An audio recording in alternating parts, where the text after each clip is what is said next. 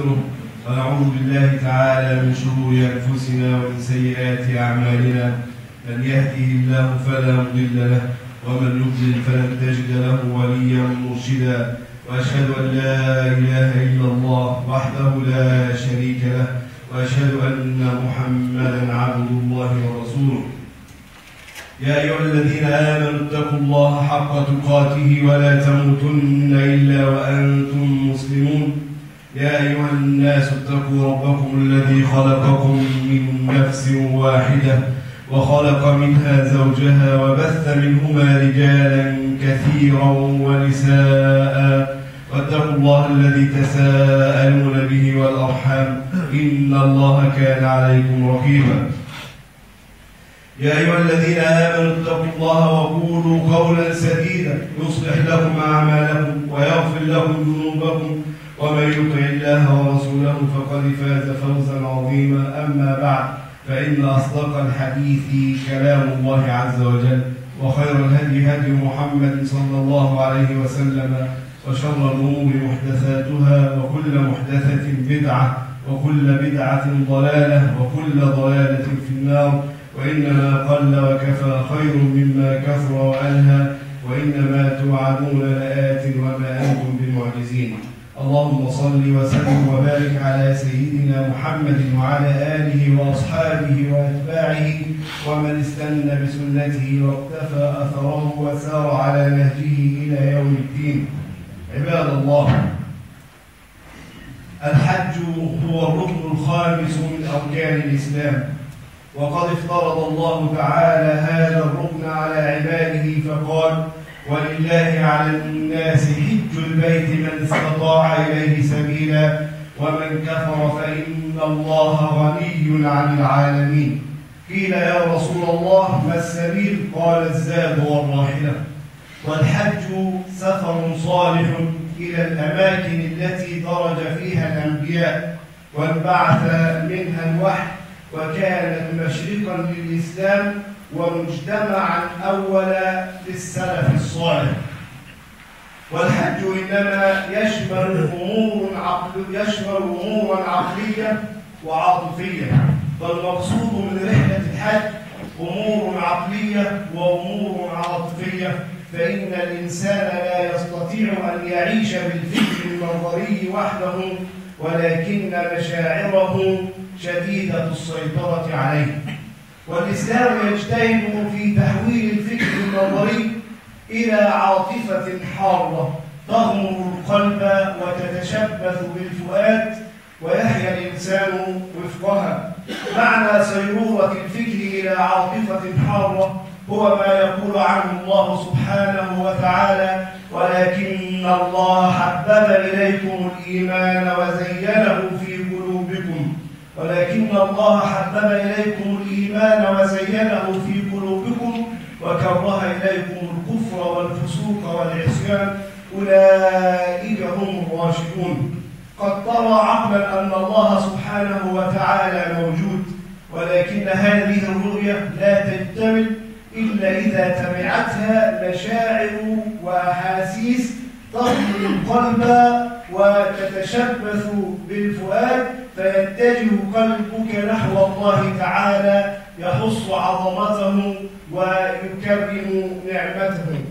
قد ترى عقلا أن الكذب رذيلة وأن الشرك فضيحة لكنك عندما يتحول هذا الإحساس أو عندما يتحول هذا الفكر إلى إحساس فإنك تشمئز من الرذيلة وتشمئز من الشرك كما تشمئز من الرائحة الكريهة. وهذا هو المقصود من الحج. فإن الله سبحانه وتعالى أراد أن يحول الحج من أمور عقلية أو من حقائق مقررة درست في الكتب وتلقاها الناس إلى أمور عاطفية وأراد أن يربط المسلمين بالمكان الذي بدأ فيه الوحي والذي انطلقت منه رسالتهم والذي كان يعني مكانا للنبيين صلى الله عليه وسلم. والرجال الذين حملوا الأمانات حتى أدوها على أتم وجه. ولنأخذ معاني الحج معنى معنى إن الرسالة الإسلامية وإن بعثة محمد صلى الله عليه وسلم كانت استجابة لدعوة جده إبراهيم وابنه إسماعيل وهما يرفعان القواعد من البيت.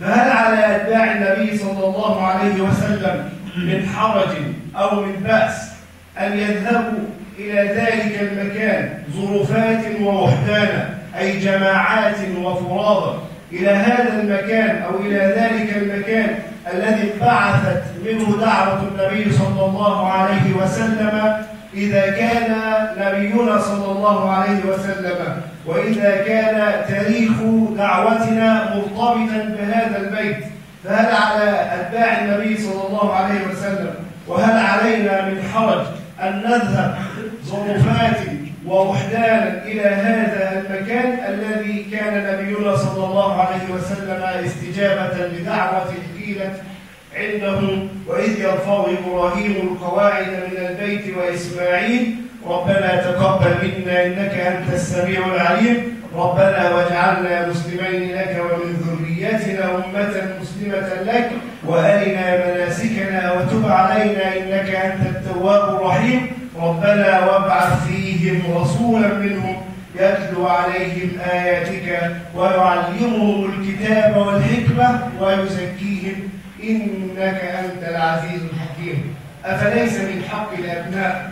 أفليس من حق الأتباع أن يجيئوا إلى ذلك المكان كي يتذكروا كيف انبعثت رسالتهم منه وكيف كان نبيهم صلى الله عليه وسلم استجابة لدعوة قيلت وجدرانه ترتفع وقواعده تمهد.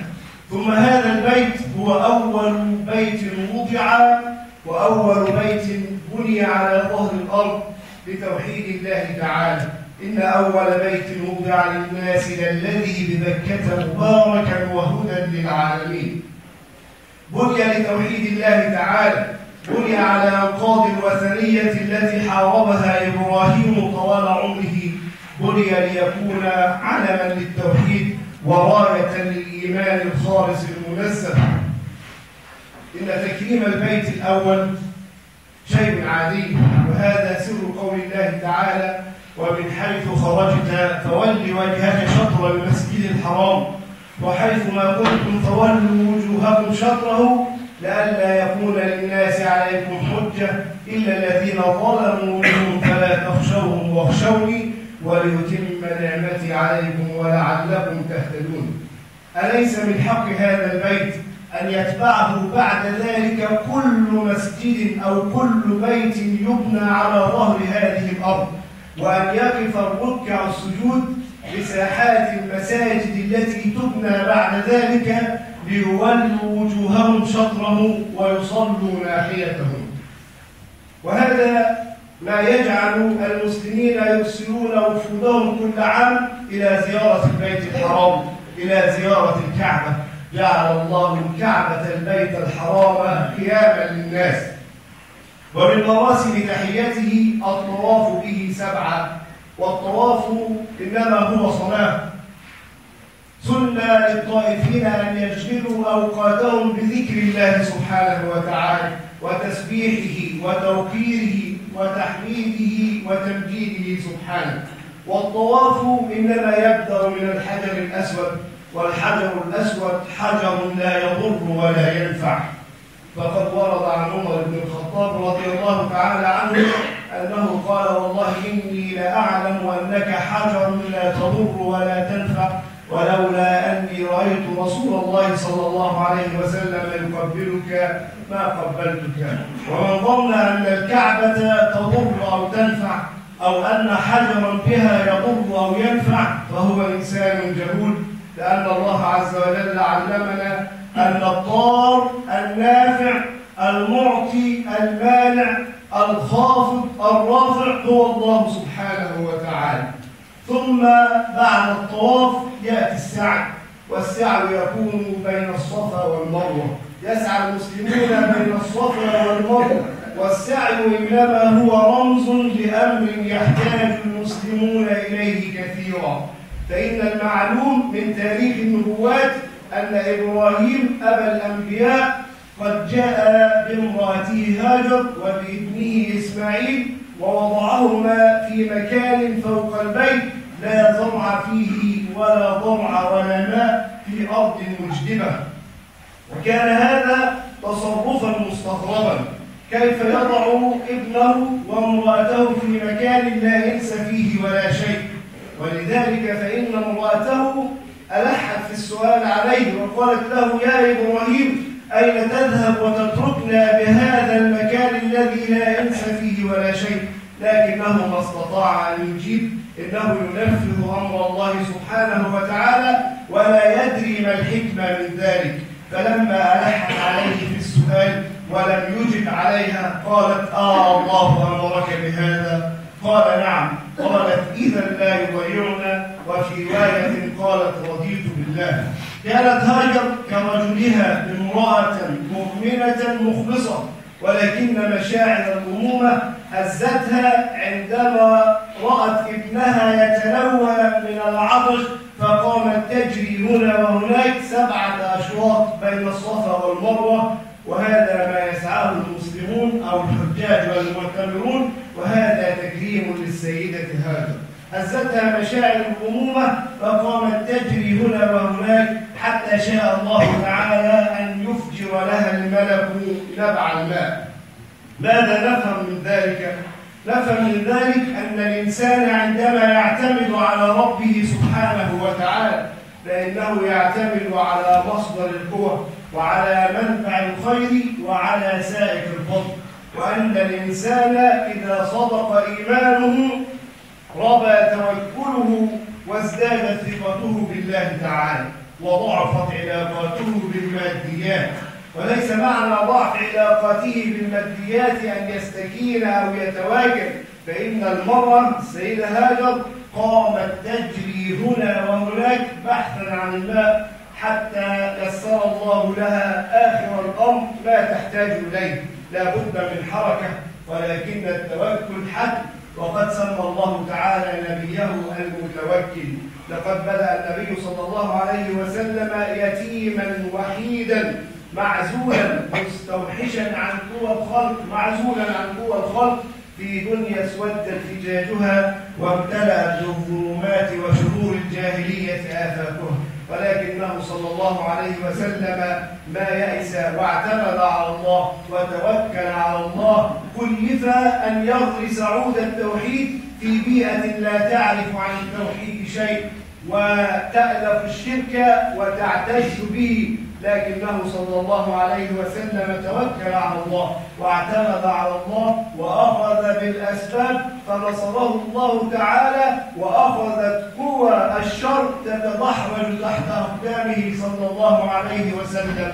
فقد أزال الظلمات من جميع العالم كلف بأن يمزق الظلام وأن يمزق أهدافه وتوكل على الله فنصره الله تعالى. ولو أننا توكلنا على الله تعالى حق التوكل لنصرنا كما نصر نبينا صلى الله عليه وسلم. ولسقانا كما سقى امرأة لا تجد هي ولا رضيعها شيئا في صحراء جرداء لا زرع فيها ولا ماء. إن التوكل إنما هو شيء خطير وعندما يذهب المسلمون إلى مكان نبع فيه الماء من زمزم يدرك الناس ويعرفون أن الانقطاع عن الله تعالى جريمة وأن الانقطاع إلى الله تعالى هو كمال الاتصال. ثم يغالب الناس الهوى نحن نغالب الهوى. عندما يوسوس إلينا الشيطان يجيء إلى أفئدتنا ذكر الله تعالى. يجيء إلى أفئدتنا ذكر الله تعالى همسا ويتحرك في قلوب المؤمنين باعث طيب. لكن الله يريد منا في صفوة الحج نسأل الله أن يرزقنا الحج. الله يريد منا في صفوة الحج أن يتحول الهمس إلى صوت عالي. وأن يتحول الذكر الخافت إلى هتاف كأن الحج مظاهرة ضخمة الهتاف فيها لله وحده والصياح باسمه سبحانه لبيك اللهم لبيك لبيك لا شريك لك لبيك. إن الحمد والنعمة لك والملك لا شريك لك لبيك. وهذا هو المقصود من الحج. وعندما تستقرئ الآيات التي تتحدث عن الحج ترى أن هذا هو المقصود من الحج. الحج أشهر معلومات. فمن فرض فيهن الحج فلا رفث ولا فسوق ولا جدال في الحج. وما تفعلوا من خير يعلمه الله وتزودوا فإن خير الزاد التقوى. واتقون يا أولي الألباب. الله واسع الغنى. ما يكلفه العطاء شيئا إنها كلمة من حرفين. قل فلو أراد أن يجعل الدنيا تحت أقدامك ذهبا وفضة فعل إن ذلك لا يتعبه ولا يعيبه. ولذلك فإن الله سبحانه وتعالى يقول لعباده أنتم فقراء بخلاء وأنا غني كريم. ليس عليكم جناح أن تبتغوا فضلا من ربكم فإذا أفضتم من عرفات فاذكروا الله عند المشعر الحرام واذكروه كما هداكم وإن كنتم من قبله لمن الضالين. لقد أخذ التعبير عن مناسك الحج كلمة الذكر. يقول الله تعالى فإذا أفضتم من عرفات فاذكروا الله عند المشعر الحرام واذكروه كما هداكم. ويقول سبحانه وتعالى ليشهدوا منافع لهم ويذكروا اسم الله في أيام معلومات على ما رزقهم من بهيمة الأنعام فكلوا منها وأطعموا البائس الفقير. ويقول تعالى والبدن جعلناها لكم من شعائر الله فاذكروا اسم الله عليها صواف. فاذكروا الله عليها صواف فإذا وجبت جنوبها فكلوا منها وأطعموا القانع والمعتر أخذ التعبير عن مناسك الحج كلمة الذكر لأن هذا هو المقصود من الحج.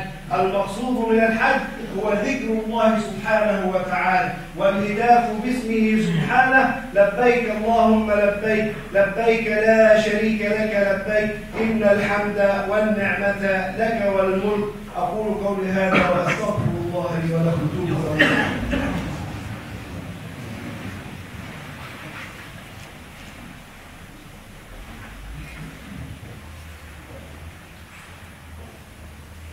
الحمد لله رب العالمين والعاقبة للمتقين ولا عدوان إلا على الظالمين وأشهد أن لا إله إلا الله وحده لا شريك له وأشهد أن محمدا عبد الله ورسوله. اللهم صل وسلم وبارك على سيدنا محمد وعلى آله وصحبه ومن تبعهم بإحسان إلى يوم الدين. عباد الله قبل طواف الإفاضة وهو ركن من أركان الحج يقف الناس في مثل هذا اليوم في يوم عرفات يقفون يقف الملايين بساحة واسعة كبيرة في جبل عرفات يتوسطه جبل الرحمة. يدعون الله عز وجل ويستغفرونه ويسبحونه ويمجدونه. وفي مثل هذا اليوم في حجة الوداع وكان أميرها النبي صلى الله عليه وسلم أمن الناس على دمائهم وعلى أموالهم وعلى أعراضهم في خطبته الشهيرة. فقال صلى الله عليه وسلم إن دماءكم وأموالكم حرام عليكم كحرمة يومكم هذا في شهركم هذا في بلدكم هذا. ألا كل شيء من أمر الجاهلية تحت قدمي موضوع ودماء الجاهلية موضوعة وأول دم أضع دم ابن ربيعة ابن الحارث ابن عم النبي صلى الله عليه وسلم كان مسترضعا في بني سعد فقتله مذيب وربا الجاهلية موضوع وأول ربا أضع ربانا ربا العباس بن عبد المطلب عم النبي صلى الله عليه وسلم فاتقوا الله في النساء فإنكم أخذتموهن بأمان الله واستحللتم فروجهن بكلمة الله. وقد تركتم تركت فيكم ما إن اعتصمتم به لن تضلوا بعده كتاب الله. وأنتم تسألون عني فما أنتم قائلون؟ قالوا نشهد أنك قد أديت وبلغت ونصحت.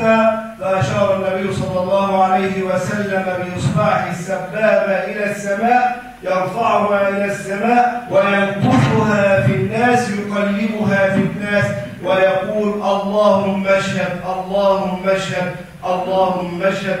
ثلاث مرات خطب النبي صلى الله عليه وسلم فأعلمهم بحرمة الدماء وبحرمة الأموال وأن كل شيء كان في الجاهلية لا قيمة له ولا عبرة له ولا يطالب النبي صلى الله عليه وسلم بدماء أقربائه فالنبي صلى الله عليه وسلم أولى بالمؤمنين من أنفسهم. وربا العباس كان عم النبي صلى الله كان العباس عم النبي صلى الله عليه وسلم وكان رجلا غنيا يرابي فوضع النبي صلى الله عليه وسلم كل أمور الجاهلية كشق الجيوب ولطم الخدود والدعوة بدعوى الجاهلية فكلها أشياء مهانة لا قيمة لها. ويا ليت المسلمين حفظوا وصايا نبيهم صلى الله عليه وسلم في يوم عرفة. ليتهم حفظوها. فبعد أن أمن النبي صلى الله عليه وسلم الناس جميعا على دمائهم وعلى أموالهم وعلى أعراضهم استباح بعض المسلمين دماء بعض. واستباحوا أموال بعض واستباحوا أعراض بعض. نظر النبي صلى الله عليه وسلم إلى الكعبة فقال ما أطيبك وما أطيب ريحك ما أعظمك وما أعظم حرمتك والذي نفس محمد بيده لحرمة المؤمن عند الله أعظم حرمة حرمة من ماله ودمه. ومع ذلك فإن المسلمين بعض المسلمين يقتل بعضهم بعض وينتهك أعراض الآخرين. والنبي صلى الله عليه وسلم لما بنى البيت نظر إلى أحد أبوابه صلى الله عليه وسلم وقال لو تركنا هذا الباب للنساء.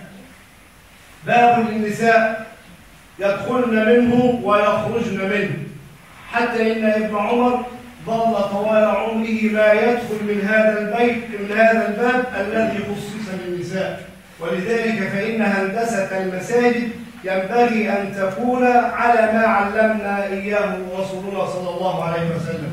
باب للنساء يختصصن بهن. منه يدخلن ومنه يخرجن. علينا أن نتعلم من سنة نبينا صلى الله عليه وسلم وأن نصحح الأخطاء وأن نقتدي بسيرة النبي صلى الله عليه وسلم. ونسأل الله عز وجل في هذا اليوم المبارك في يوم الجمعة وفي يوم عرفة أن يتقبل من حجيج بيت الله تعالى وأن يجعل حجهم مبرورا وأن يعودوا إلى ديارهم يعودون مغفورا لهم. ونسأل الله عز وجل أن يرزقنا الحج والعمرة وأن يكتب لنا الحج والعمرة. اللهم اغفر لنا ذنوبنا وإسرافنا في أمرنا وثبت أقدامنا وانصرنا على القوم الكافرين. اللهم اجعل ثأرنا على من ظلمنا ولا تجعل مصيبتنا في ديننا ولا تجعل الدنيا أكبر همنا ولا مبلغ علمنا ولا إلى النار مصيرنا. ربنا آتنا في الدنيا حسنة وفي الآخرة حسنة وقنا عذاب النار. ربنا لا تؤاخذنا إن نسينا وأخطأنا. ربنا ولا تحمل علينا إصرا كما حملته على الذين من قبلنا. ربنا هب لنا من وذرياتنا قرة أعين واجعلنا للمتقين إماما. اللهم اشف مرضانا ومرضى المسلمين وارحم موتانا وموتى المسلمين واقض الدين عن المدينين وفرج كرب المكروبين ووفق جميع المسلمين يا رب العالمين. اللهم وحد صفهم واحكم دماءهم واجمعهم على الحق وآخر دعوانا الحمد لله رب العالمين.